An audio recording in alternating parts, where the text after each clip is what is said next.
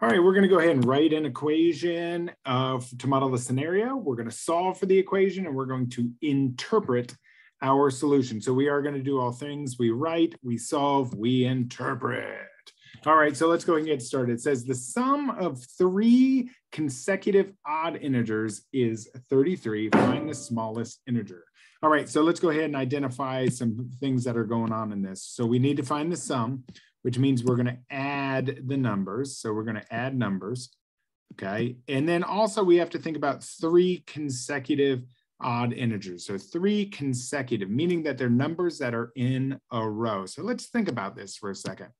They need to be odd. They need to be in a row. So I'm going to make a list of them. I'm going to start with maybe five. And the next odd number would be seven. And then the next odd number after that might be nine. And those are consecutive odd numbers. Another set might be 11 and 13 and then 15 and so forth. Now, the one thing they need to do is they need to add to 33. So I look at five, seven, and nine. And what I'm going to do is I'm going to represent the first number, the first number as the variable. So X represents the first odd number. Okay. And then what I'm going to do is I'm going to say, okay, well, if X represents the first odd number, let's make a relationship of how these odd numbers work. So if I start with five, what do I do in order to get to seven? Well, what do we do? We added two. So wait a second. The first number is X. The second number, which is seven, we just took X and we added two in order to get to it. So check that out. I'm going to write, well, the second number must be our first number plus two.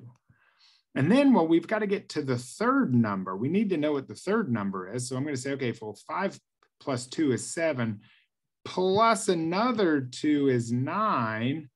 Well, if I started with X, our first number, and I go all the way there to nine, that's really just adding four. So we could take our first number X and we could add four to it. Now, those are our three numbers, X, X plus two, and X plus four. But we know that their sum is going to be 33. And that means that they add to 33. So what we're going to do is we're going to make an equation now.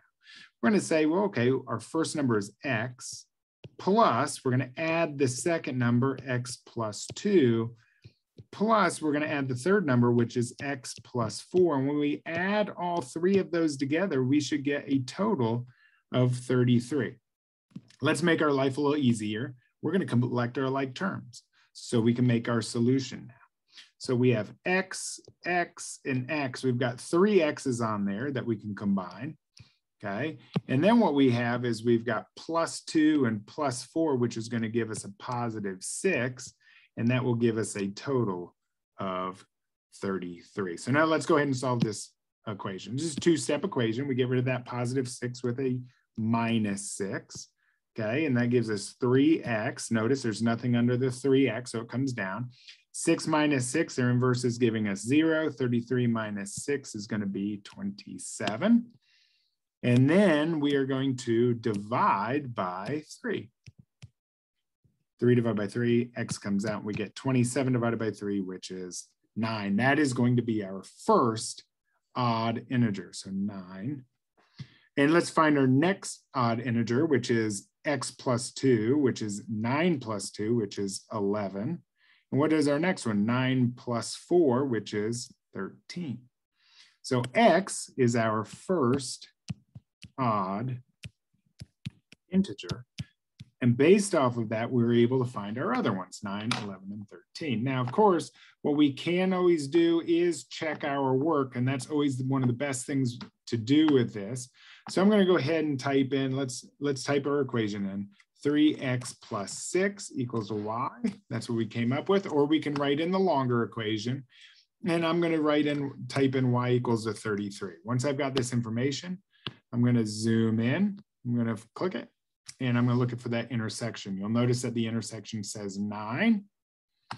And I'm going to screen snip that in there because this is going to verify that not only algebraically we were able to find nine and then 11 and 13, but also graphically we were also able to do this using technology. So check it out. That's how we do the sum of three consecutive odd integers. This is also how we do the sum of, of even integers.